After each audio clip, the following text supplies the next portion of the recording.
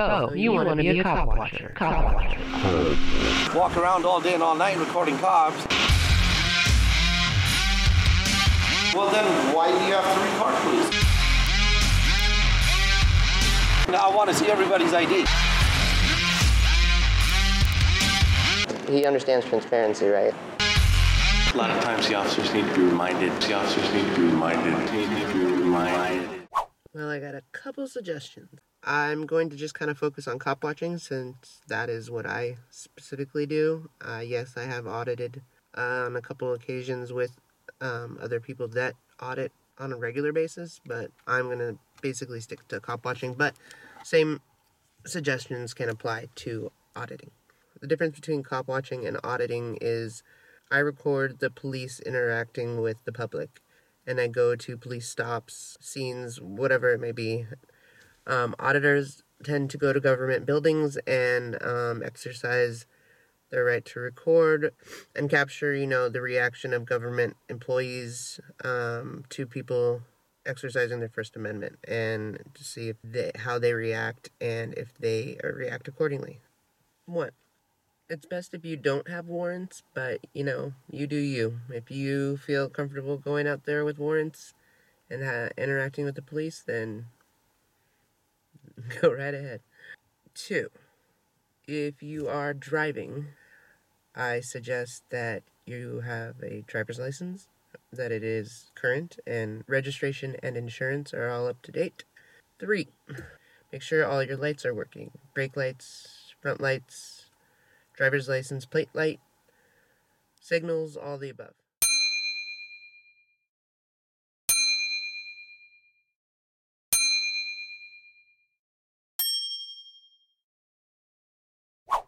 Four, decent camera. I started with a phone camera or something. Once I got a little bit of a following or subscribers, I was fortunate enough to get um, a couple donations and was able to get a GoPro and another camera, which I have now donated to somebody else. But I will show you right now what I'm working with.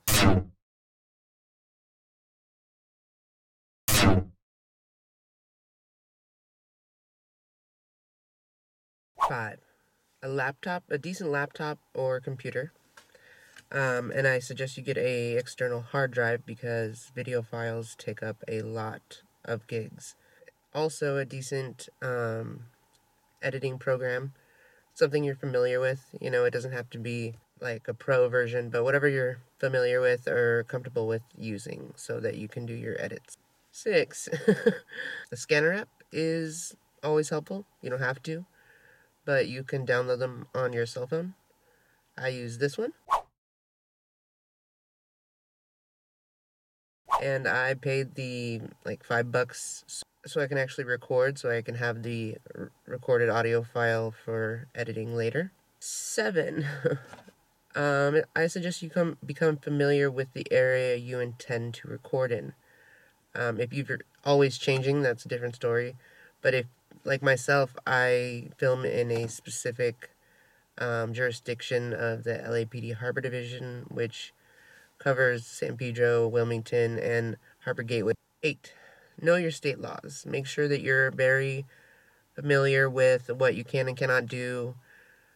If your state has um, like a Turner versus Driver, which my state isn't covered by that, but um, there are certain states with better and more specific guidelines or policy or you know rules to recording the police. And it's really good to become familiar with that. You know in my state there isn't actually a number of a distance that you have to be away from the scene. I give a comfortable amount of space. Uh, nine i suggest you begin with a partner so that you have um, backup.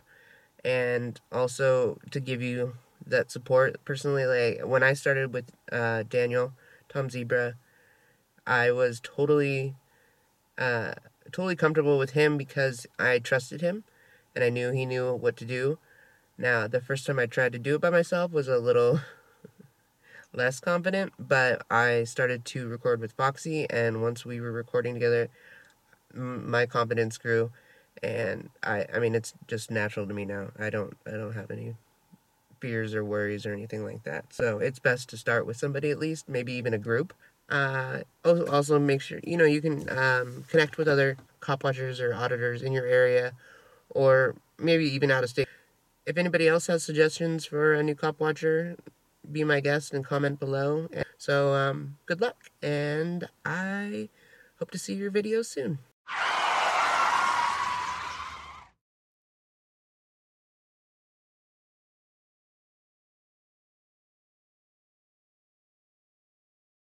For your first times cop watching, I think you should take in the experience instead of having to endure the experience on the other side, as in being pulled over, having your car towed, being ticketed, uh, being arrested. Honestly, uh, you do you. So if that is actually your um, game plan is to be arrested, then cool. You don't have to have a super fancy camera, but I do suggest if you're posting these videos online that you have a somewhat decent quality camera because grainy or choppy video is hard to keep the viewers watching till the end of your video. So one of the consequences of being a cop watcher is you become a target.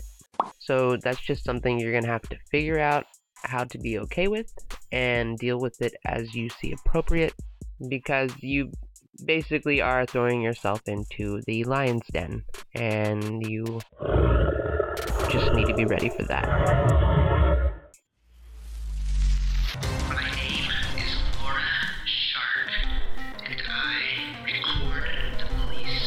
My name is